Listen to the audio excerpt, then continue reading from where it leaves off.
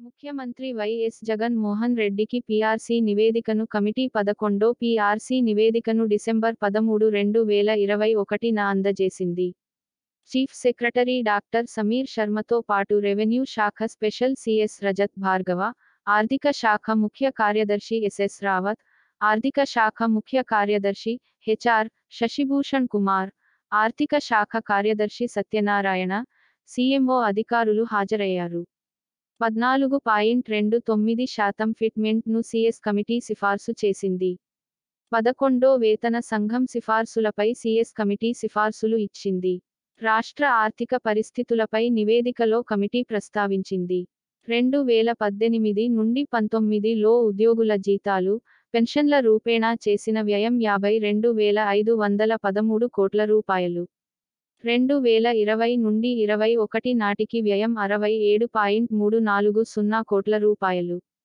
రెండు వేల పద్దెనిమిది నుండి పంతొమ్మిది లో రాష్ట్ర ప్రభుత్వ సొంత ఆదాయంలో ఉద్యోగుల జీతాలు పెన్షన్ల మొత్తం ఎనభై నాలుగు శాతం. రెండు వేల ఇరవై నుండి ఇరవై ఒకటి నాటికి నూట పదకొండు శాతానికి చేరుకుంది. ప్రభుత్వ మొత్తం వ్యయంలో ఉద్యోగుల జీతాలు పెన్షన్ల కోసం చేస్తున్న వ్యయంలో రెండు వేల పద్దెనిమిది నుండి పంతొమ్మిదిలో ముప్పై రెండు శాతం. రెండు వేల ఇరవై నుండి ఇరవై ఒకటి నాటికి ముప్పై ఆరు శాతానికి చేరింది. ఇతర రాష్ట్రాలతో పోలిస్తే ఈ వ్యయం ఏపీలోనే అధికం. రెండు వేల ఇరవై నుండి ఇరవై ఒకటిలో తెలంగాణలో ఇది కేవలం ఇరవై ఒకటి శాతమేనని కమిటీ పేర్కొంది. రాష్ట్ర విభజన ఆర్థిక పరిస్థితులపై పెను ప్రభావం చూపింది. తెలంగాణలో సగటు తలసరి ఆదాయం రెండు లక్షల ముప్పై ఏడు వేల ఆరు వందల ముప్పై రెండు రూపాయలు కాగా ఏపీలో కేవలం లక్షా డెబ్బై వేల రెండు వందల పదిహేను రూపాయలు మాత్రమే. ఆరు వేల రెండు వందల ఎనభై నాలుగు కోట్ల రూపాయలు విద్యుత్ బకాయిలు ఇంకా తెలంగాణ నుంచి రావాలి. రెవెన్యూ లోటు కింద పద్దెనిమిది వేల తొమ్మిది వందల అరవై తొమ్మిది కోట్ల రూపాయలు కేంద్రం ఇవ్వాలి. కోవిడ్ కారణంగా ఆర్థిక పరిస్థితి మరింత దిగజారింది. కోవిడ్ కారణంగా ఇరవై వెయ్యి రూపాయలు కోట్ల అదనపు భారం పడింది.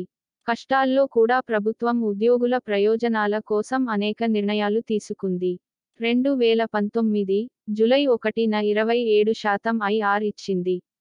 ఐఆర్ రూపేణా ఉద్యోగులకు పదకొండు వేల రెండు వందల డెబ్బై కోట్ల రూపాయలు పెన్షన్లకు రూ.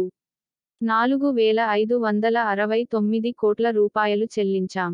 అంగన్వాడీ ఆశా వర్కర్లు సహా వివిధ కేటగిరీలకు చెందిన ఉద్యోగులకు వేతనాలు పెంచాం. మూడు లక్షల వెయ్యి ఇరవై ఒకటి ఉద్యోగులకు ప్రభుత్వం జీతాలు పెంచింది.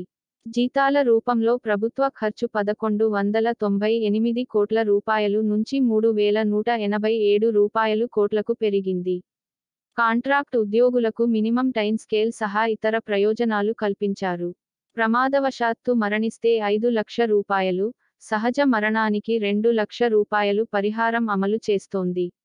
ఏపీఎస్ఆర్టీసీని రాష్ట్ర ప్రభుత్వంలో విలీనం చేశారు.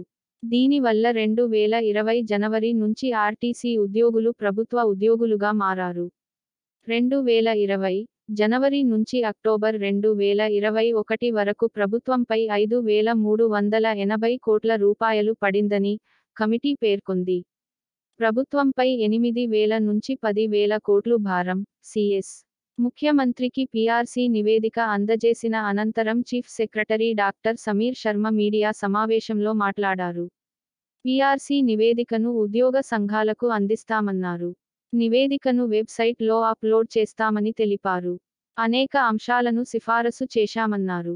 ప్రభుత్వంపై ఎనిమిది వేయి రూపాయలు నుంచి పది వేల కోట్ల భారం పడనుందని ఫిట్మెంట్ పై సీఎంకు పదకొండు ప్రతిపాదనలు ఇచ్చామని సీఎస్ పేర్కొన్నారు. ఇతర రాష్ట్రాలు కేంద్రం ఇచ్చిన ఫిట్మెంట్ను పరిశీలించామని సీఎస్ తెలిపారు.